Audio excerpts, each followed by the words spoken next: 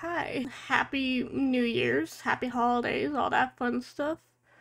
I just want to take a minute to talk about what's coming next year. So, husband and I have made a big decision, and a lot of things IRL happened recently, like in this month alone, that we decided we are going to move.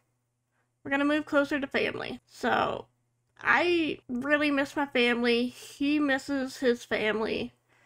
The job market where we currently live is not the best. And we decided, you know what?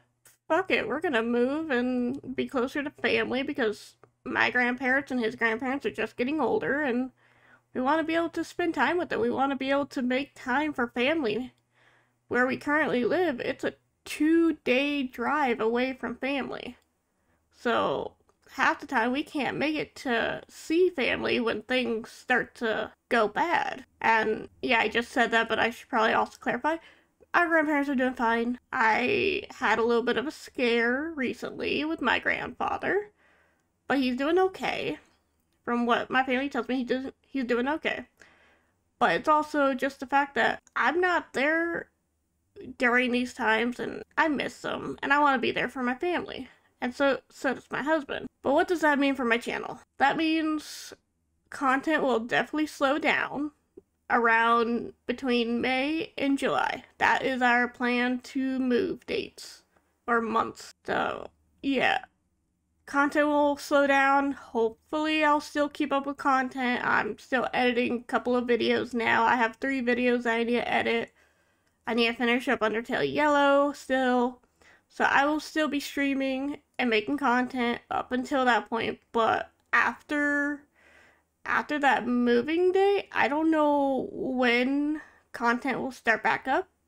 I don't know how long it's going to be until we're able to get our own place. And yeah, uh don't know how long it will take us to get settled into the new place once we do get it. Hopefully, it'll only be like a month or two, but it could be longer. We don't know. We don't know how long we're going to be staying with family until we get a new house. There's a lot of things still up in the air. So, yeah, that's that's gonna happen next year. Things are slowing down for this channel and for streaming, but you know, I'm not gonna give up on it. I'm still gonna be here. I'll probably still make shorts whenever I can. Maybe I'll uh, make IRL shorts for my other channel, the ADHD Ginger.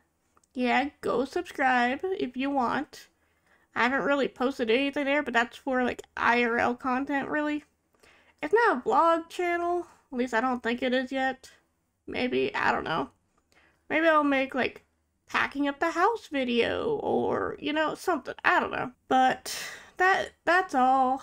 Happy New Year and happy holidays and be safe out there. Have a good next year. And yeah, I'll, I'll see you guys around, I guess.